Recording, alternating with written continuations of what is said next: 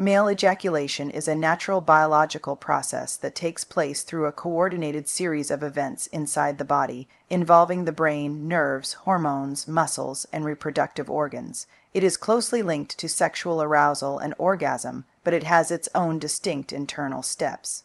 Understanding what happens during ejaculation can help make the entire process less mysterious, and can also highlight why certain issues, such as difficulty ejaculating too soon, too late, or not at all occur. The process is complex but follows a clear sequence, moving from the buildup of sexual stimulation to the release of semen through the urethra. The process begins in the brain.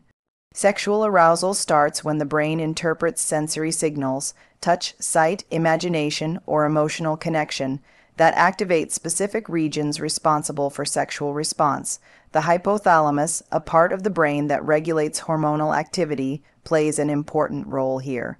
It sends signals down the spinal cord and through the nerves to the penis and the reproductive organs. At the same time, the brain releases chemicals such as dopamine, which increases pleasure and motivation, and oxytocin, which enhances bonding and emotional connection. As arousal increases, these chemical messages prepare the body for ejaculation by stimulating the nerves controlling blood flow and muscle coordination. As signals intensify, blood flow to the penis increases. Arteries widen while veins constrict, causing blood to fill the erectile tissue. This leads to erection, which is necessary for penetration but not strictly required for ejaculation itself. During this time, the testes, where sperm cells are made, are also preparing. Sperm production is continuous, but during arousal the testes become more active, and the scrotum tightens to bring them closer to the body. This adjustment helps create the right temperature and position for efficient function. Sperm mature and are stored in a long, coiled tube called the epididymis, attached to each testicle. When sexual stimulation nears the point of no return, the body begins to move sperm from this storage area into a channel called the vas deferens, which is a muscular tube that acts like a conveyor belt.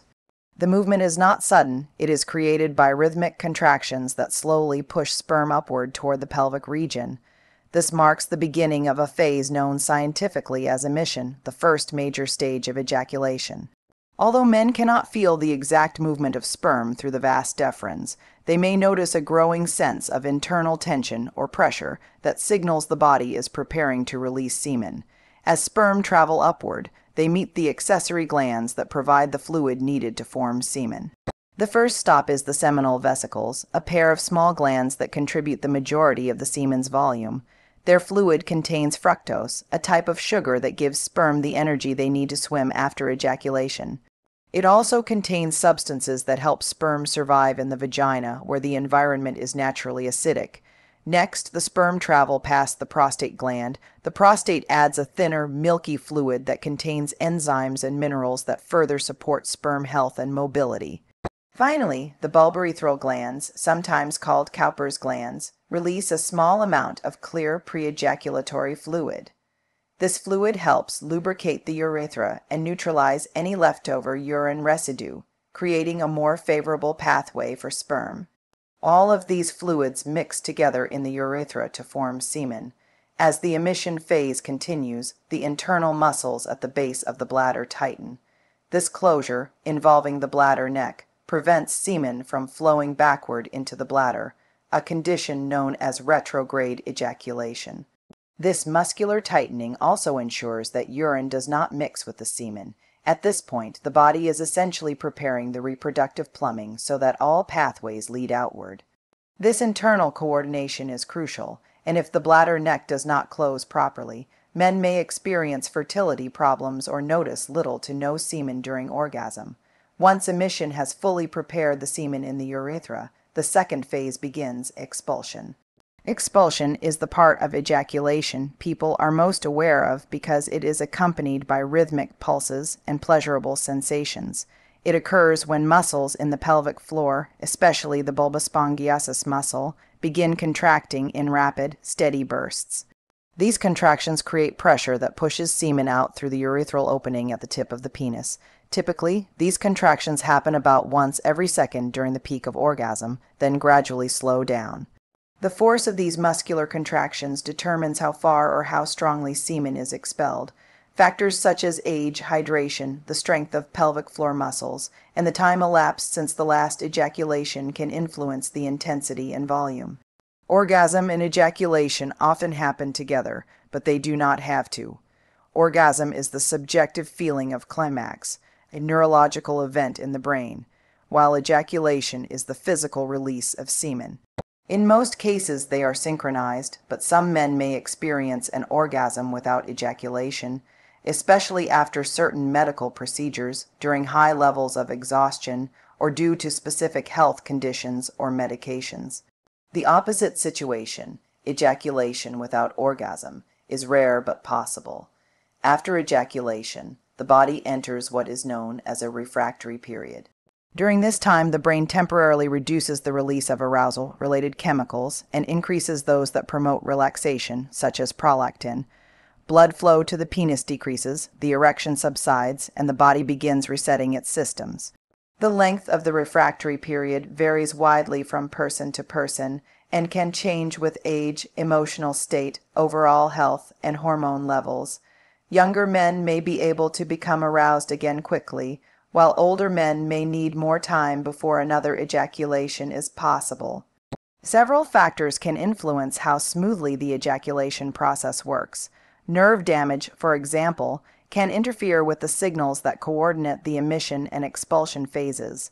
Conditions such as diabetes, spinal cord injuries, or pelvic surgeries can disrupt these pathways.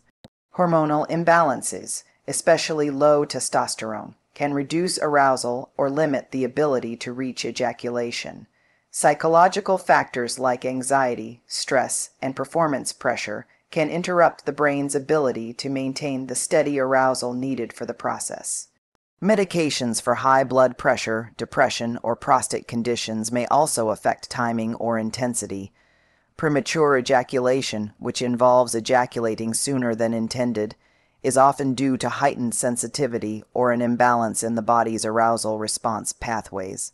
Delayed ejaculation, where reaching climax takes unusually long or does not happen at all, may result from reduced nerve sensitivity, side effects of medications, or psychological blocks. Retrograde ejaculation, mentioned earlier, is when the bladder neck does not close properly and semen flows backward into the bladder instead of outward. While it is not harmful, it can impact fertility. Understanding the mechanics behind these conditions helps reduce stigma and encourages individuals to seek proper guidance when needed. Despite its complexity, the entire sequence of male ejaculation is an elegantly coordinated event. It begins with signals in the brain, progresses through hormonal and nerve activation, involves fluid contributions from multiple glands, and culminates in rhythmic muscular contractions that release semen. Each step supports the next, and the system works with remarkable precision. While variations are normal and changes can occur over a lifetime, the essential design remains the same to allow the body to release sperm in a way that maximizes their ability to travel and survive. By breaking the process down into its individual parts, it becomes clear that ejaculation is not just a single moment, but a series of interconnected actions involving different organs and systems working together. This biological choreography ensures that the body can respond to sexual stimulation, prepare sperm for potential fertilization, and release them efficiently. Understanding how the process works makes it easier to recognize when something feels different or when challenges arise. It also reinforces that male ejaculation, like many aspects of human biology, is a natural and carefully coordinated function that reflects both the complexity and the adaptability of the human body.